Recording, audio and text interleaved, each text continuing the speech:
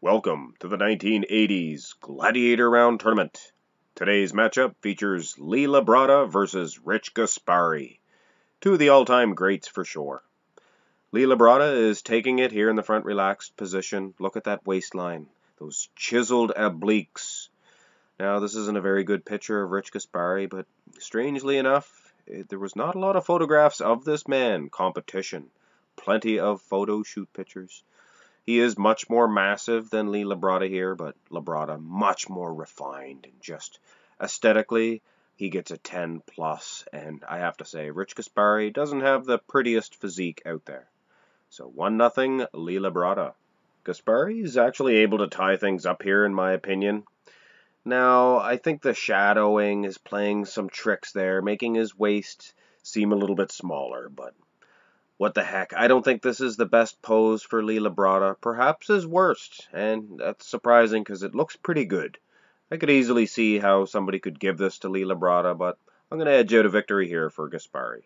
The front lat spread is clearly a Lee Labrada pose. What an incredible pose for this man. Rich Gaspari, definitely not the best for him. He had several poses that just they didn't work with his type of physique, and this front lat spread was definitely one of them. I mean, conditioning wise, he is decent. He's good, always, Rich Gaspari, but that silhouette belongs to Lee Labrada. Now, the side chest, eh, this isn't quite so cut and dry. I think I'm actually going to go with Rich Gaspari. Things are pretty equal in the arms and the legs, perhaps.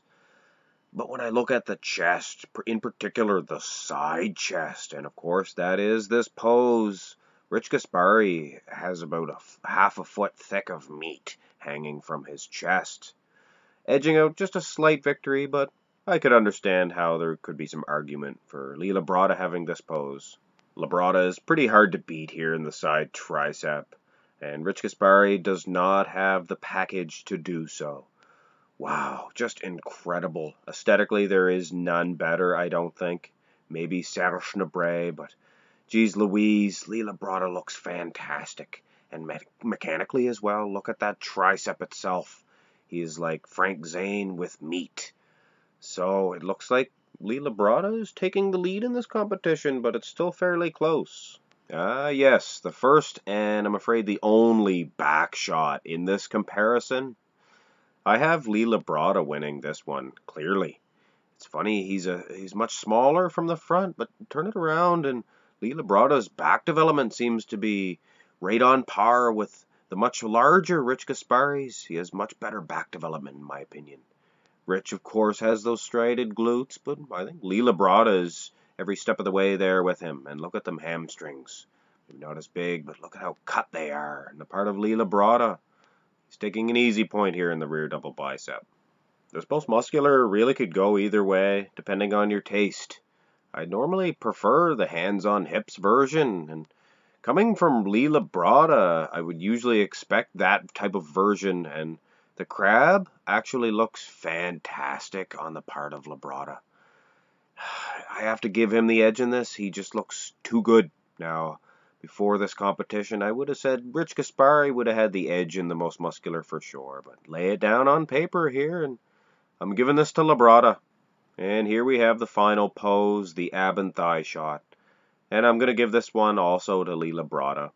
Rich Gaspari does look good in this pose. For a guy that's not very aesthetic, I am surprised how good his ab and thigh really is.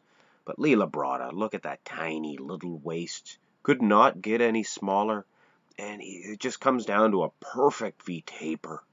I admit those legs could use a little bit more meat, but perhaps a little more striated than uh, Rich Gaspari's. So Lee Labrada advances on. And Lee Haney versus Lee Labrada promises to be an awesome matchup. Now, I know most people would vote for Lee Haney in that one, but as you may know, I definitely favor the aesthetic bodybuilders big time, especially in the 80s. These aesthetic guys were just fantastic. Lee Labrada definitely has a chance to dethrone this Lee Haney. But of course, the first or the next matchup in this tournament features Gary Strydom against Bertil Fox, and that one is going to be an outstanding comparison also. So it's down to the final four, guys. This is exciting. One of these four, get your votes in now and get your guesses in. As one of these four guys is going to be crowned king of the 1980s. Hope you enjoyed this video. Have a good day.